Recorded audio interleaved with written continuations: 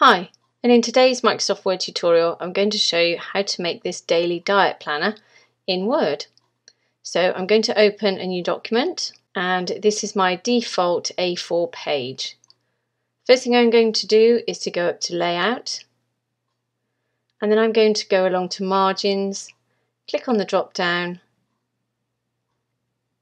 and select Narrow and that's just going to decrease the size of our margins and maximize the area we've got to place our table. Then I'm going to go up to Insert, down to Table, click on the drop down and go down to Insert Table. Six columns and 28 rows and then just click OK. So as you can see, my table is not quite lined up as the way it was in the demonstration. So as my cursor is in the top left here, I'm just going to hit the return key just to allow me to move the table up and down freely, as you can see. Then what I'm going to do is I'm going to select the entire table. Then I'm going to go to Layout. And then I'm going to increase the height of my rows to 0.8, just giving us a little bit of extra room to write. Press enter. And then you can see just the shaded areas are up to the top of our cells. And I want all of the text that I'm going to enter into these cells to be in the middle. So again, select the table. You can either select the table by clicking on this top left square, or you can simply click and drag up your table. Then make sure you're on layout and go to this center align tab here. That will mean that everything you now type into your table will be in the center of the cell. So the top cell here, we're going to merge all of these cells to allow us to put in Monday for our first day. So select all of those cells, go up to layout and select merge cells. Then I'm going to type in Monday. Now here we'll type breakfast, we'll go along to the next cell, pop in lunch, dinner, and then snacks. Then in this cell here, we'll type food. And then in this cell here, we'll type calories. Now at the end here, I'm going to put the total. So I'm going to merge these two cells here because we don't really need this top cell and this cell. So this one we just need the total of your daily intake of calories. So select these two cells, go up to layout and merge cells. And here we can type in total. And then in this box here, which is where you'll put your total for the day. Now it's really important that during this section here, you customize this to fit your needs because what we're going to do is once we've finished, all we're going to do is to copy and paste all of what we've done in this section. So if you want to change the font or you want to change the size, so let's just change Monday. Let's go to the Home tab. I'm going to increase the font size once to 14 using the increase font size icon. And I'm going to make it bold using the bold icon here. The next thing I'm going to do is I'm going to increase the height of this cell here. But I'm going to do that at the end because it won't actually copy and paste the heights of cells. So once you're happy with this layout, we're going to highlight everything in these four rows. We're going to copy it by hitting Command or Control C. We'll go down to the first empty cell here and press Command or Control V to copy. Now you'll notice these cells haven't merged, which is absolutely fine. It's very simple to come do come back and do that at the end.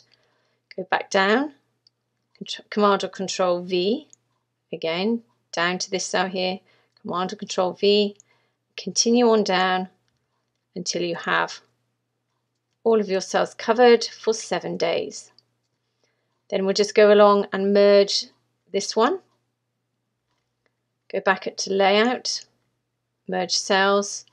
We'll change that to Tuesday and continue on through to the rest of the table and do exactly the same. Just merge them and type in the correct day.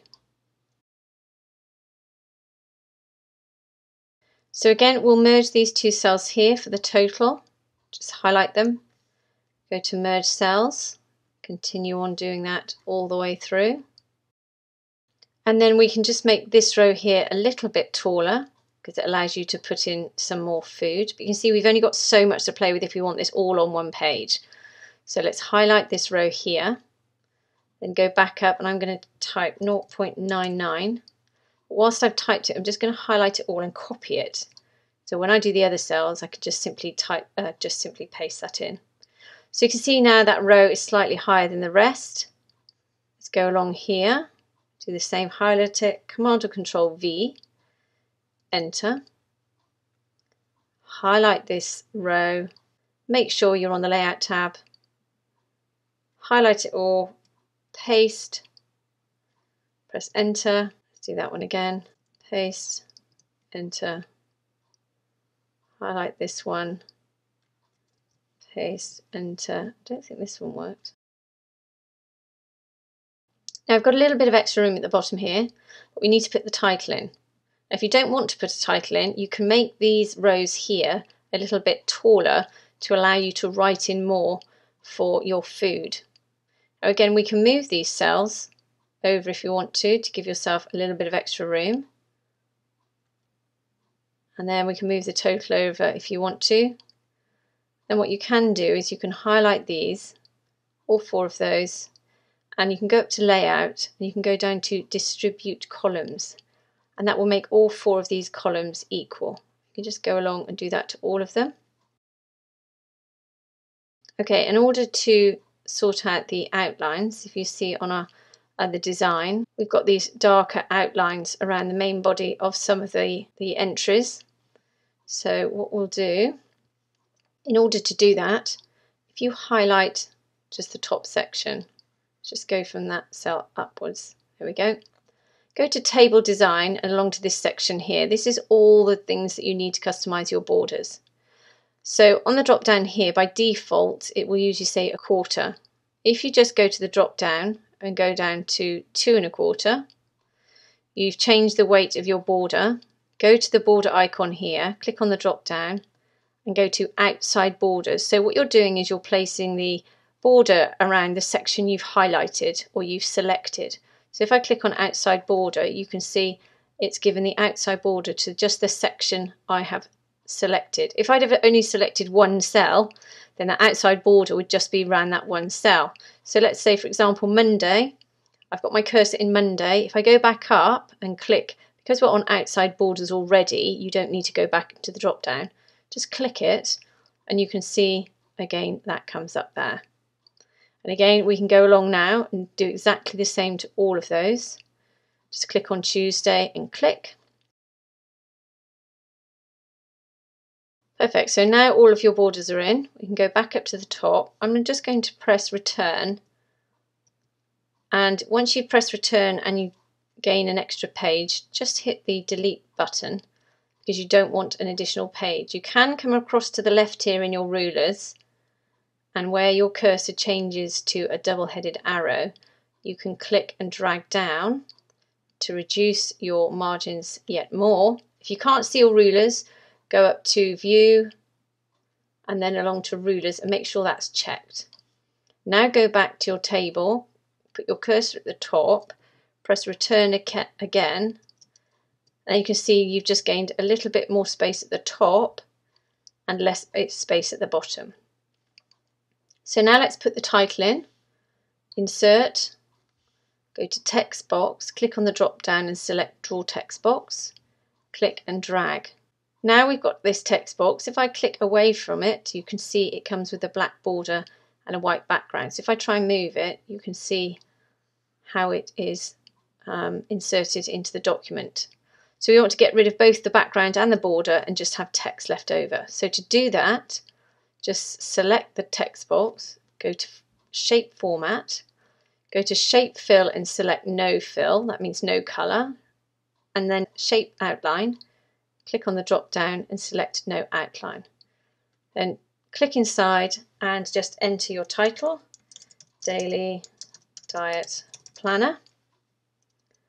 Then in order to change the text and size, just highlight it, go to the Home tab and you can do all the changes you would normally do when associated with font. I'm going to use the increase font size tool because it's quick and easy.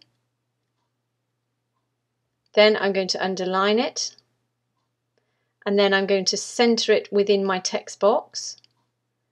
But although it's centered within my text box, this text box isn't actually centered because I've just thrown it around the page. So what we need to do is to go to shape format, make sure it's selected, go over to the alignment tool, click on the drop down and select align to center. And that will ensure that your text box is now perfectly aligned in the center of your page.